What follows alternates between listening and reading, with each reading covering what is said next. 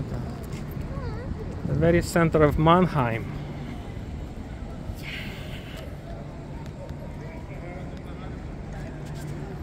It is absolutely gorgeous out here.